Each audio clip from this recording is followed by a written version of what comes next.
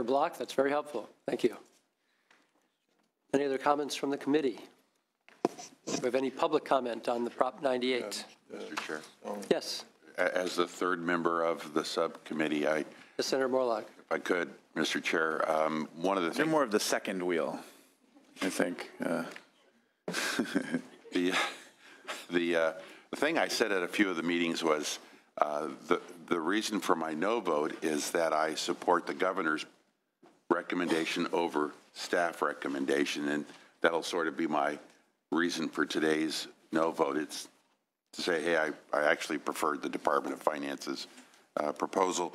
Um, I am happy that the uh, community colleges are doing well in the career technical education area. I'm, I, I would have liked to have seen the glide down stop for CTE for K through 12. I'd like to see that ongoing in the future. Uh, I'm sorry that the 20 million uh, for the charter school startup funding was uh, deleted, and I'm concerned about the fact that the $100 million emergency fund uh, for school repairs has also been uh, removed. So uh, with that, Mr. Chair, I'll be a no vote, but for the budget overall, um, the governor was very specific in saying that, you know, a few years out, if we forecast where revenues are going and where expenses are going, the expense line crosses over, and it does not look very positive. And we've been doing some analysis with data going 10 years out, and it's even getting bleaker. Uh, so we need to start really being focused on how we manage our money today as we move forward, because um, you know we've got a governor who's been very good about watching the budget, but he's only got two years left. The next governor is going to have an interesting uh, predicament to deal with if we don't pay attention now. So thank you, Mr. Chair. Thank you, Senator Moorlach. Show of hands, please, for public comment. So close to 20. If you could keep your comments as succinct as possible, we want to be respectful of what you have to say. Please proceed. Anita Stromgren, representing the Northern Directors Group, and we continue to be in strong support of the Legislative Women's Caucus ask. We were very disappointed in the positions that the Senate took and look forward to reviewing the agenda for the Assembly and hope that there can be some good discussion in conference committee to bring the numbers up. We know that, and we've heard the research over and over again, that the earliest years are the most important years. It's an investment in the future, and we need to put more money into services for children and families. Thank you. Thank you.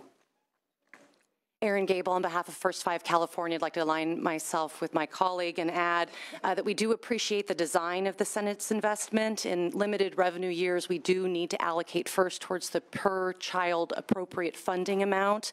However, this is not a limited revenue year, and so with all due respect, we would hope that the Senate would reopen this package and look at how we can make our youngest children and the most impactful investment we can make in this budget year a much more significant per funding priority. Thank you. Thank you, Ms. Cable. Good afternoon, Donna Sneeringer with the Child Care Alliance of Los Angeles. I agree with my colleagues that came before me and would also add that you are looking at a system, as Senator Mitchell referenced, that is starving.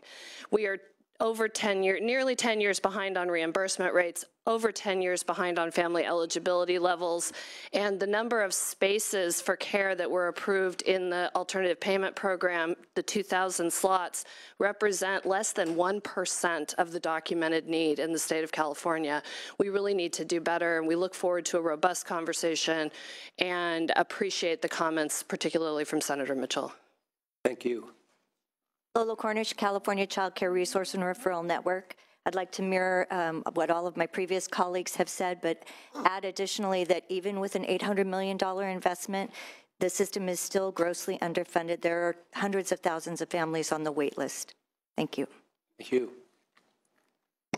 Good afternoon. Jennifer Greppy with Parent Voices California, representing 15 chapters of Parent Voices across the state and thousands of families, many of those on the child care waiting list. Uh, waiting and waiting and waiting for their turn. Um, I just want to refer to um, in the, uh, there is $90 million sort of on the table, which would serve about 13,000 kids.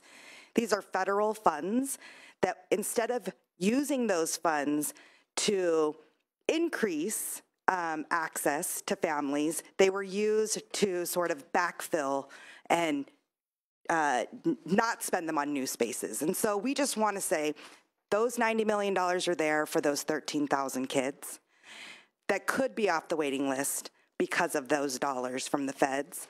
And we've heard over and over how much early childhood is education. We call it that, it is early care and education. So it needs to be funded with education dollars. Prop 98 is where childcare belongs. Thank you. Thank you, Ms. Grappi. Monique Ramos on behalf of First 5 LA. First off, we'd like to thank Senator Mitchell for her comments and just say we continue to be in support of the Women's Caucus proposal and look forward to a robust conversation in conference committee. Thank you. Thank you, Ms. Ramos. Barbara Baran. I'm co-director of the California EDGE Coalition, a coalition of business, labor, and social justice organizations. And in these comments, I also represent the Campaign for College Opportunity. Both of our organizations uh, strongly support the Senate's proposal to focus um, the first year of the 30 million um, increased investment in basic skills on the remaining applications for the transformation program, but we also strongly urge that the ongoing funding for basic skills also focus on those high impact practices that research has proven really can move the needle um, for our basic skills students. We think we have a real opportunity to change uh, the, the conversation. Thanks. Thanks, Ms. Baran.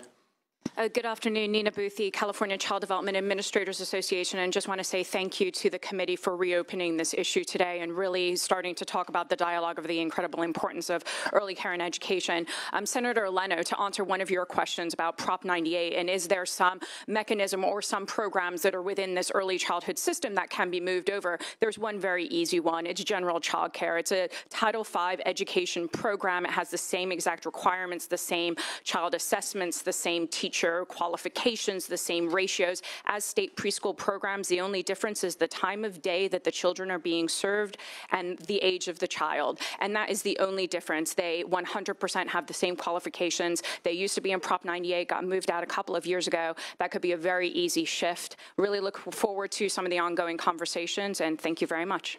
Thank you. Good afternoon, Khadija Alam Javed with the Advancement Project. Um, first of all, I do want to thank the Senate for rejecting the governor's block grant proposal.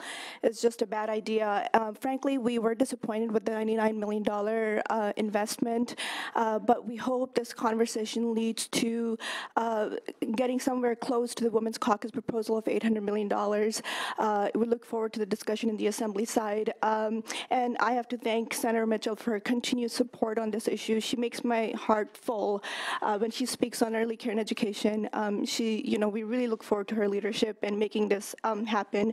And there's a lot of funding um, in the general fund and Prop 98.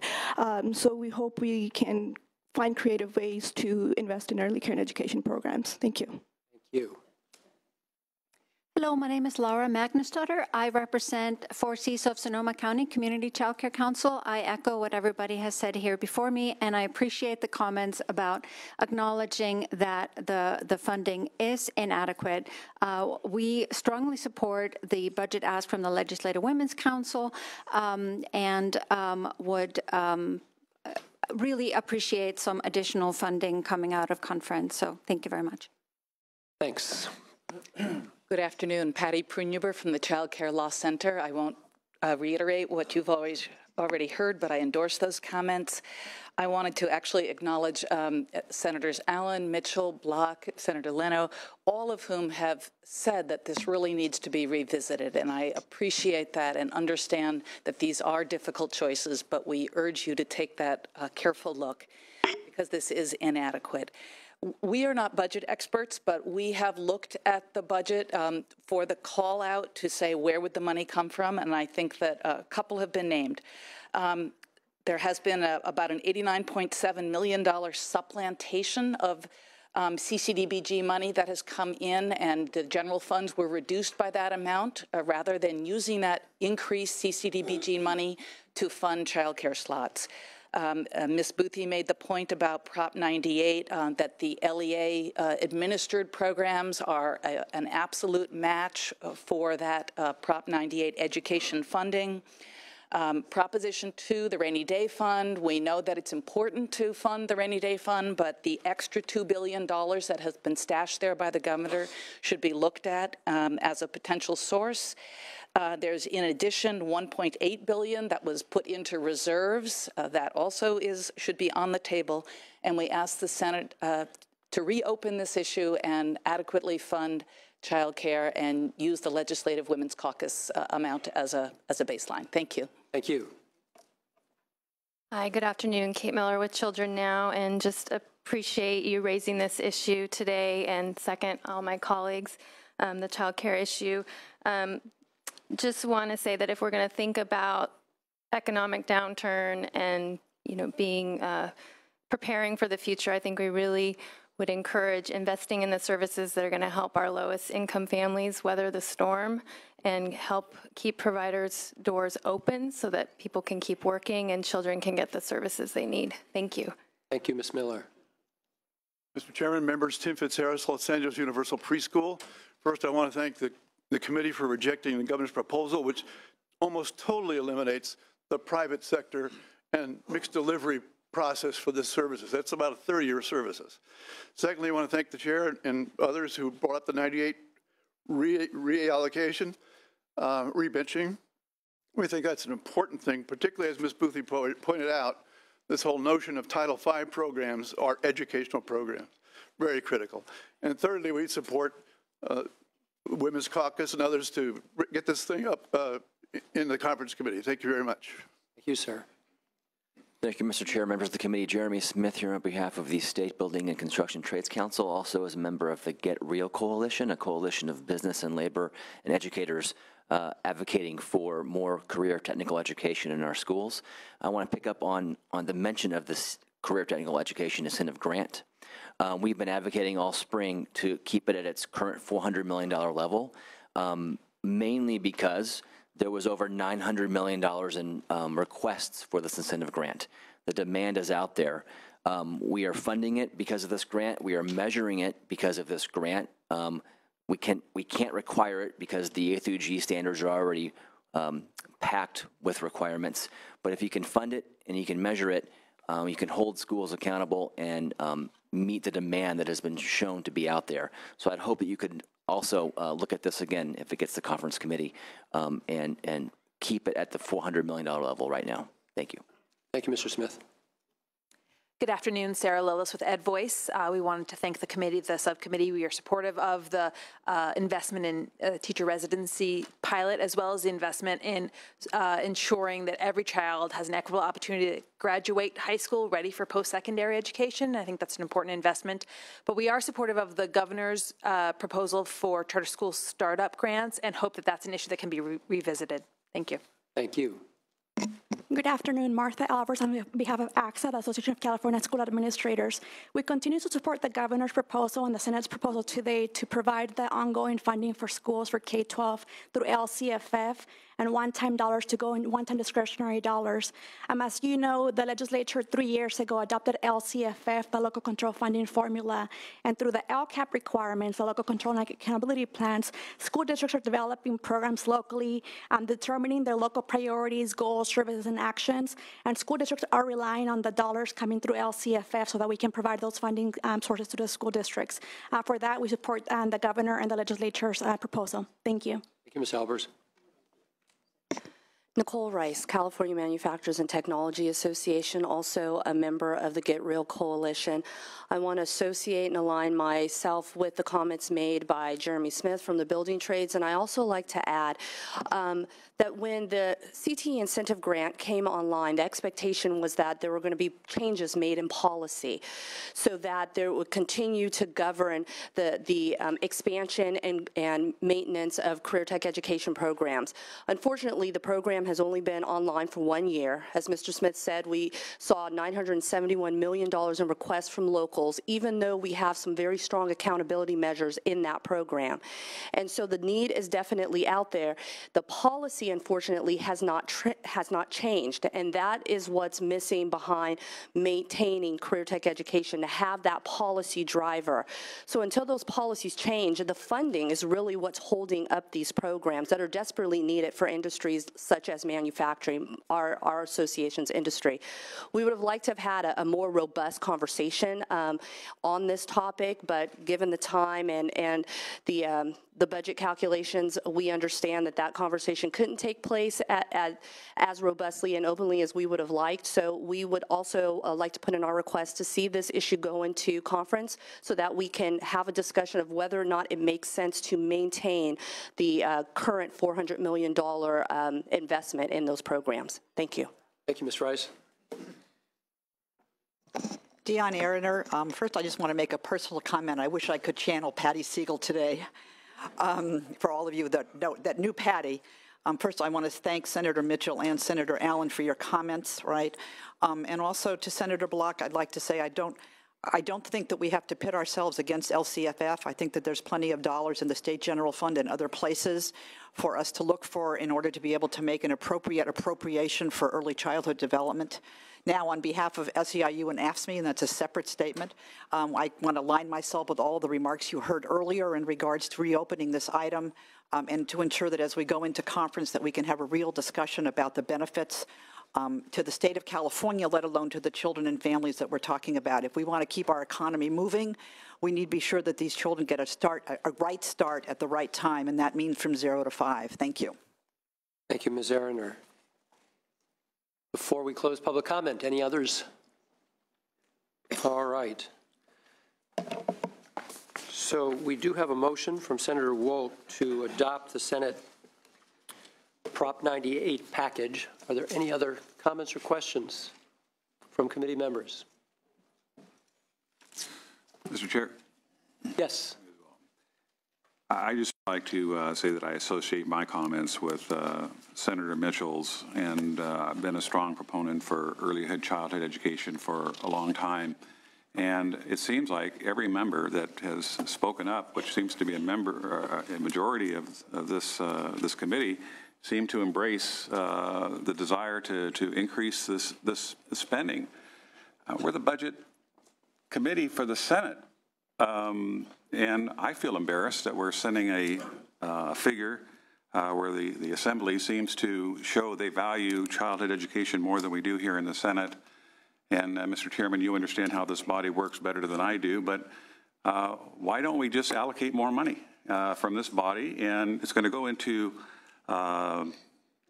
discussions with, with the Assembly, but let's, let's show that we're united in wanting to have childhood education as a part of our curriculum in the state of California. And the way you send that message is by associating a dollar amount with it. So I, I would welcome your recommendations on how we do that, but I think we as a body are, are, are pretty much unified, I think, and we should um, pick up this, uh, this inferior amount of money um, and support childhood education, early childhood education. It's an appropriate comment on which to conclude our debate, Senator Stone. So just to be clear, there's nothing that we could do here today other than what has come from Budget Subcommittee that wouldn't lead us to further discussion in conference committee. So we will be going to conference committee. Now, to the extent that we carry some shame that we're going to be funding to a lower level for early care and education than the Assembly, I don't know all the details of their program, but I understand potentially some hundreds of millions of dollars are using some one-time general fund money, so I don't know that that's the fix that we're looking for. So clearly, I join everybody else. I started this conversation by saying, what is our game plan? We have a huge hole here. We have to figure out what steps we're going to take sooner or later. And again, no one's doubting the value of this kind of early investment in our children. So we will be in conference. This will be continued. I think where we are at this moment is worthy of support to get it to conference, and we take it up from there. So we do have a motion. Call the roll, please. Leno? Aye. Nielsen? Aye. Allen? Anderson? Beall? Bach? Aye. Glazer? Hancock? Mitchell? No. Monning? Moorlach? Nguyen? Pan? Pavley? Roth? Stone? No. Wolk? Nielsen, I don't know.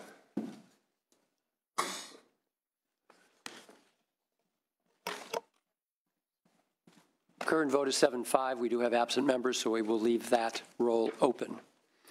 And as promised, we are going to take a 10-minute break. So very conveniently, we'll see you at 2 o'clock.